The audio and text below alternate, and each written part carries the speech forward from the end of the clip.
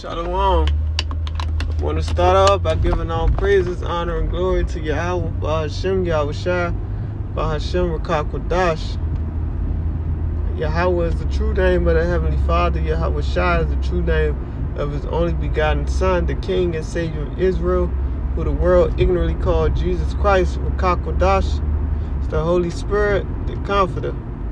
As we know, those names are ancient Hebrew because the Bible was originally written in ancient Hebrew before being translated into English. And when our Lord Yahweh walked this earth and was crucified, the letter J didn't exist yet. So his name couldn't have been Jesus Christ or any other other stumbling block names because as we also know that in the ancient Hebrew is no J's, E's, O's, U's, or V's. So his name couldn't have been Jesus Christ or any other other stumbling block names that they came up with to make us forget the true names.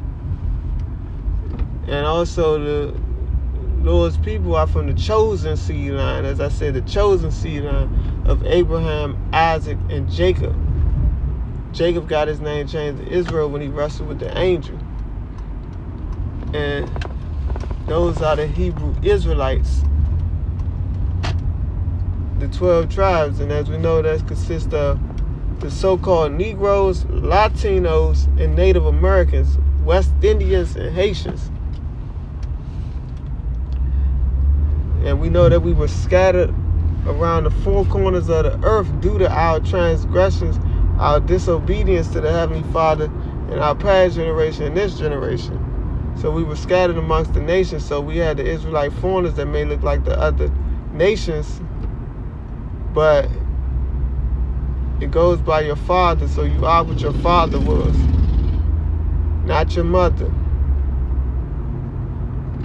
And the earth was given into the hands of the wicked. This is his kingdom for a season. It's coming to an end. It's written in Job 9 and 24, the earth was given into the hands of the wicked. And as we know in this truth, the wicked of the Bible is Esau Edom, the so-called white man today.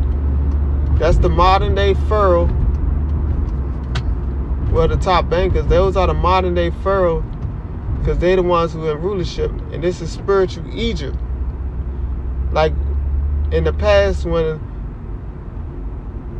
the Lord, the Most High, gave Moses the power to part the Red Sea and deliver the Israelites from out of Egypt, America today is spiritual Egypt.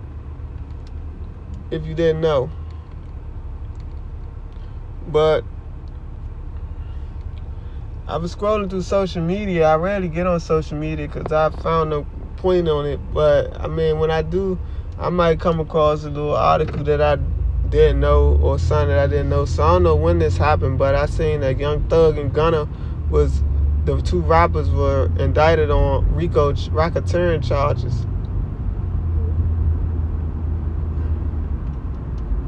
And basically, um, it made me think about a few scriptures and basically gave me more more more understanding and reason as to why you shouldn't trust in building in this wicked kingdom. Because as it is written in Micah 2 and 10, this is not our rest. This is Satan's kingdom, not Yahweh kingdom. Yahweh kingdom, the Israelite kingdom is coming up next. It's going to be an everlasting kingdom of righteousness, not with wickedness like what's going on today. But first scripture I'm going to get is Ecclesiasticus 5. Well, Ecclesiasticus or is also called Sirach 5 and verse 8. It says, Set not thine heart upon goods unjustly gotten, for they shall not profit thee in the day of calamity. And me knowing and listening to these rappers today, a lot of them push wickedness and basically murder and adultery, etc. Things that's contrary to what the Most High want us to do. And they also promote drug use, and they also still use drugs themselves or sell it or do any do all types of things with it. So on top of the fact that them the rapping, they also making money off of unjust goods unjustly gotten.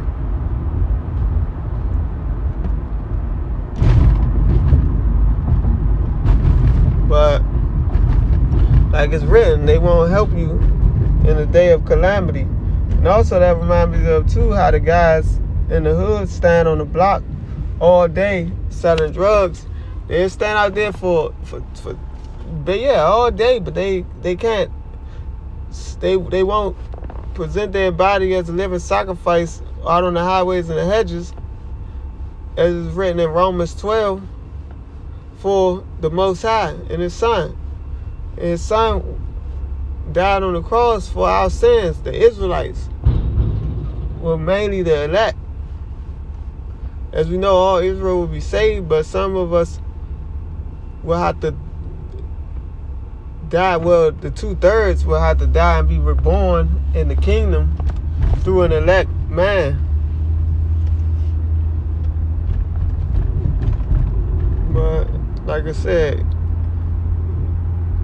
we're in these last days, so during the time of calamity, them unjust, them um goods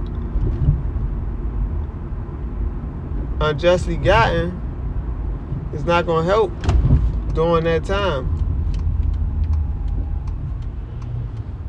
I'm gonna read Proverbs chapter 10. I'm gonna start at verse 2.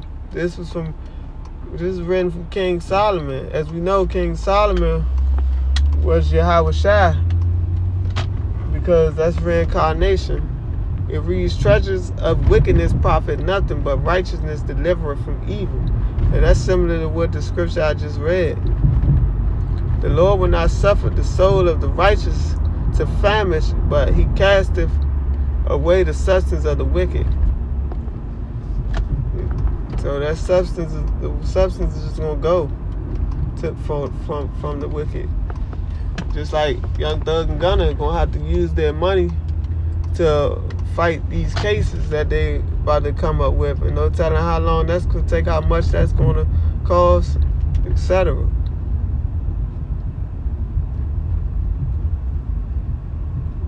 Micah 2 and 10, it reads, Arise ye and depart, for this is not your rest. It is polluted. It should destroy you, even with a sure destruction. Like I said before, this is not our kingdom. This is not our rest. So, mainly, you should just be praying that the Lord gives you your daily bread to get through the day because this kingdom about to be destroyed.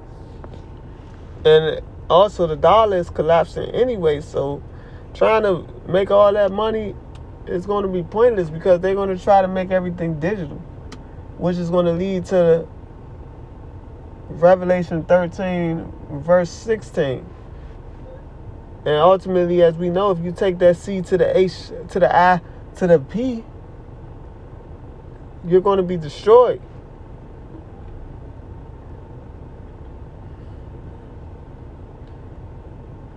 But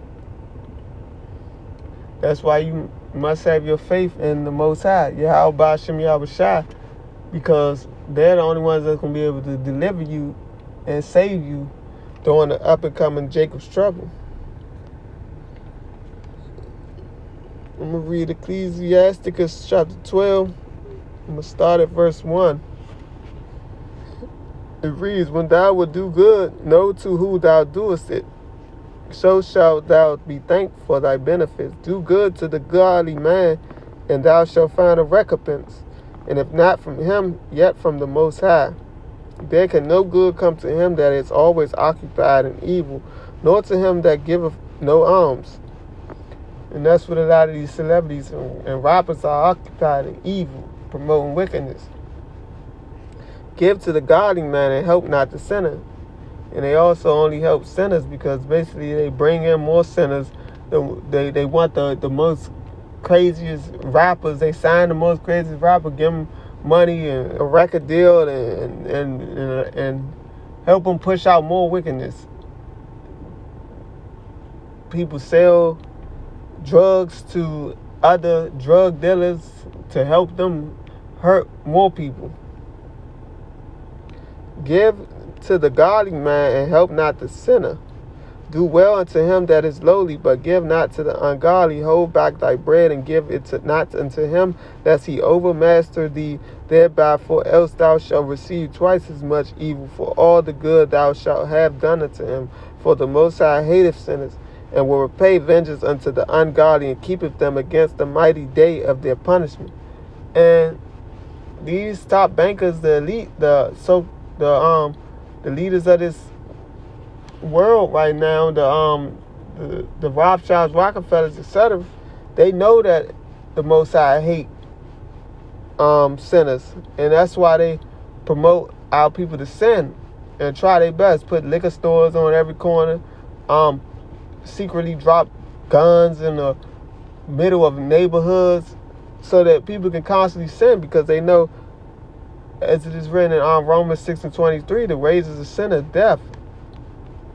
Given to the good and help not the sinner. A friend cannot be known in prosperity, and an enemy cannot be hidden in adversity. In the prosperity of a man, enemies will be grieved, but in his adversity, even a friend will depart. And that's why I don't never understand why a lot of these celebrities feel comfortable around these people because they be around a whole bunch of people. They don't know whether these people are envious or not and they go around doing all types of wickedness and once these people get presented with a large lump sum of money just like they the celebrities themselves might have sold their soul to um, make it in this be successful in this kingdom them two friends will do the same things. Verse 10 it reads never trust thine enemy for like as iron rusteth so is his wickedness. And our top enemy is esau edom so you put your trust in him like it's written, never trust thy enemy. Though he humble himself and go crouching, yet take good heed and beware of him, and thou shalt be unto him as if thou hast wiped a looking glass, and thou shalt know that his rust have not been altogether wiped away. Set him not by thee, lest when he have overthrown thee, he stand up in thy place, neither let him sit at thy right hand lest he seek to take thy seat, and thou at the last remember my words and be pricked therewith. And that's what they do. They want to shake hands with Esau Edom. They feel like they made it once they shake hands with Esau Edom. The so-called white man, the devil that the Bible speaks of. You'll see how everything changed when all hell is breaking loose, how much of a friend he is to you then. To read Isaiah chapter 30. I'm going to start at verse 1. Woe to the rebellious children, said the Lord, that take counsel, but not of me, and that cover with a covering, but not of my spirit. They may add sin to sin, that walk to go down to Egypt. And like I said before, this is spiritual Egypt, and had not asked in my mouth to strengthen themselves in the strength of Pharaoh and trust in the shadow of Egypt. And just like somehow wicked Israelites were trying to go back to Egypt when they felt like, oh, things were getting a little too rough when the Most High was delivering us in our past generations from Egypt, the bondage in Egypt. That's what they're doing today, trusting in Egypt, trusting into in Egypt, trying to go back. Oh, we we we were better off staying in Egypt in bondage and slavery than to be set free. Because contrary to popular belief, we're still in captivity. We pay taxes, etc. Therefore shall the strength of Pharaoh be your shame, and the trust in the shadow of Egypt your confusion. And as we know, America is also Babylon, spiritual Babylon. Babylon means confusion.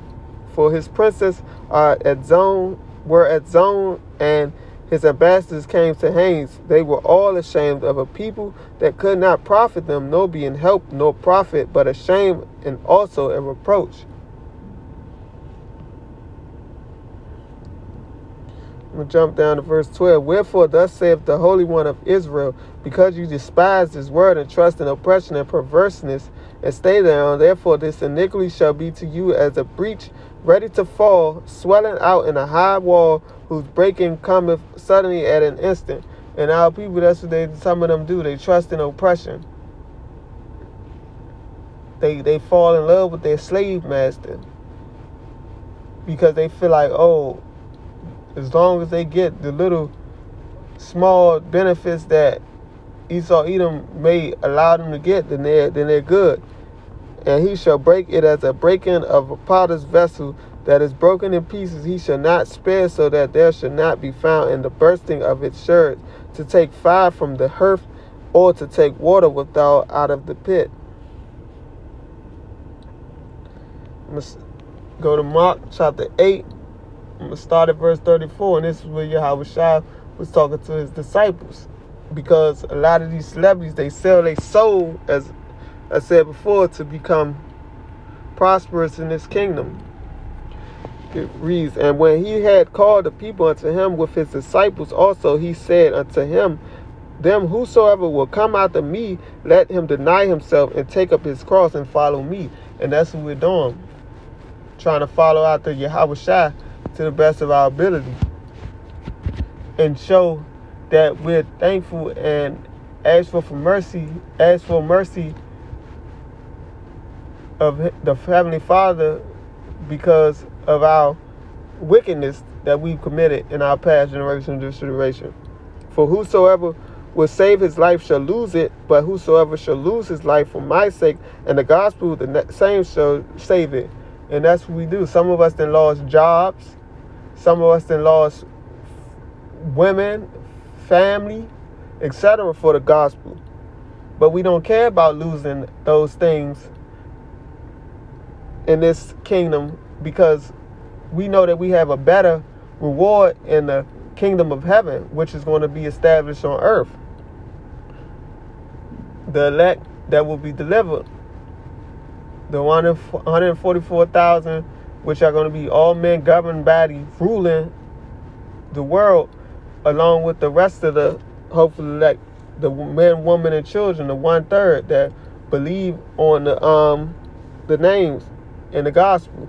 For what shall it profit a man if he shall gain the whole world and lose his own soul? And that's what they want to do. They want to gain this world and lose their soul doing it. That's why it's written, you should fear the one who can kill the soul and the body, and that's the Most High. Or what shall a man give in exchange for his soul? For whosoever therefore shall be ashamed of me and of my words in this adulterous and sinful generation, of him also shall the Son of Man be ashamed when he cometh in the glory of his Father with the holy angels. And when Yahweh shall crack the clouds with Michael the archangel and the rest of the angels to destroy this wicked kingdom, those people that have scoffed and mocked at the word of this gospel and thought it was a joke and and and, and made fun of the prophets, etc., they're going to be the, the the Most High and the Son is going to be ashamed of them, and they're just going to be destroyed.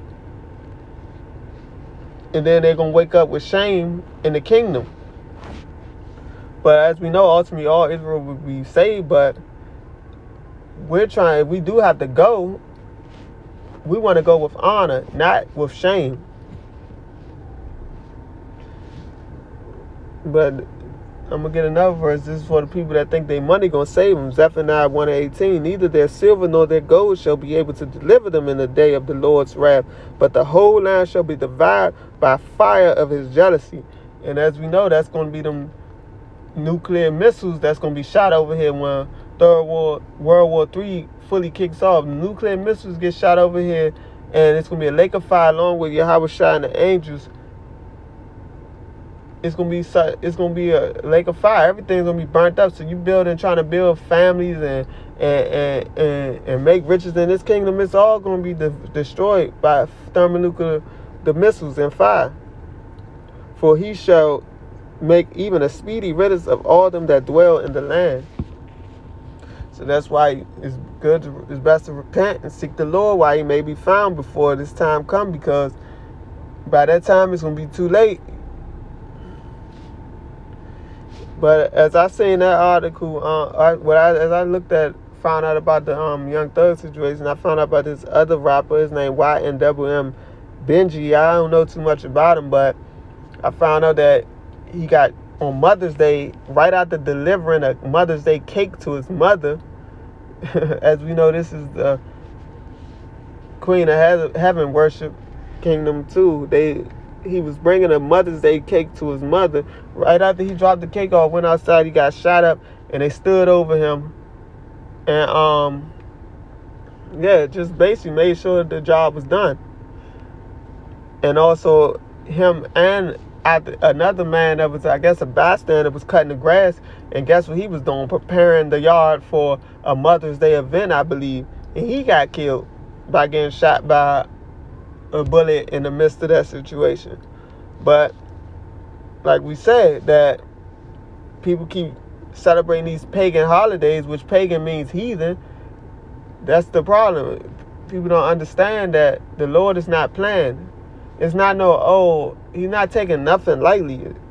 Contrary to popular belief, he's not an all loving power that loves everybody. He doesn't love disobedience. Like obedience is better than sacrifice, as, as it is written in 1 Samuel um, 5, chapter 2, verse 22. And rebellion is as witchcraft, and I believe in verse 23. You can check it out. 1 Samuel 15, verse 22 and 23. Read it as it is written. Blessed is he that readeth. But I'm gonna go to the second Esdras chapter 9. I'm gonna jump down to verse um 12. It says the same must know it after death by pain. And that's how some people will have to find out death by pain. When Yahweh when Yahweh Hashem Yahushua destroy them by pain, they're gonna have to die a grievous death to understand that this wasn't a game especially during these times. But as always, I want to give all praises, honor, glory to Yahweh, Bahashem, Yahweh Shai. Also, I want to give a double honors to the apostles and elders, the great millstone, who teach and rule well, who I learn from daily, Lord willing, and shalom to the hopeful elect.